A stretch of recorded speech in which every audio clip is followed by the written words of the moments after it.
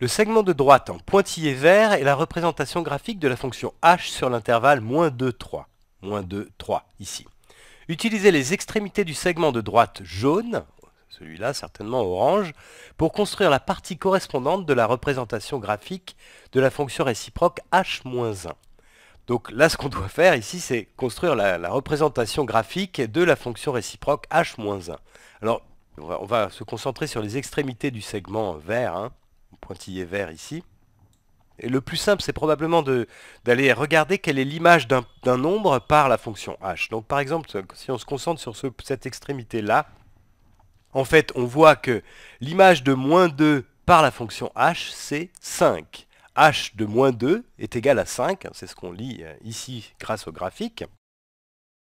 Alors, si on lit ça dans l'autre sens, on va avoir une indication sur la fonction réciproque. Hein. C'est-à-dire que je peux très bien dire que le nombre 5 est envoyé par la fonction réciproque dans le nombre moins 2. Hein. L'image de 5 par la fonction réciproque, c'est moins 2. Alors je vais pouvoir en fait placer le point correspondant. Donc ça va être le point de, coordonnées 5 moins 2 ici. Hein. Ça, c'est ce qui concerne du coup la fonction réciproque h-1. Alors je vais faire exactement le même travail avec l'autre extrémité. La fonction h envoie le nombre 3 dans le nombre 8. Hein. L'image de 3 par h, c'est 8. C'est l'ordonnée de ce point-là. Donc si je lis ça dans l'autre sens, en fait, ça veut dire que la fonction réciproque envoie le nombre 8 en le nombre 3. Donc l'image de 8 par la fonction réciproque, c'est 3. Donc je vais pouvoir placer le point de coordonnée 8, 3. 8, 3, qui est ici. Voilà. Et donc là, en fait, ce que j'ai tracé, c'est la représentation graphique de la fonction réciproque h-1 pour l'ensemble de valeurs données. Hein.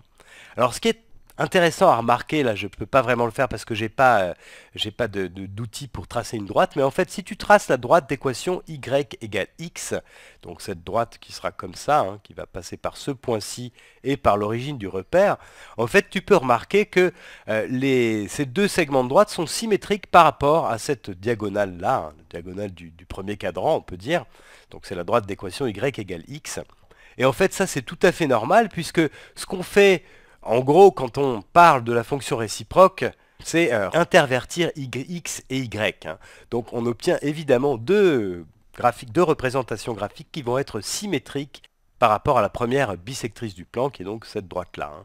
Donc ce point-ci va correspondre à ce point-ci, et ce point-ci va correspondre à ce point-là. Voilà, je t'engage à refaire le dessin si tu veux pour voir cette symétrie.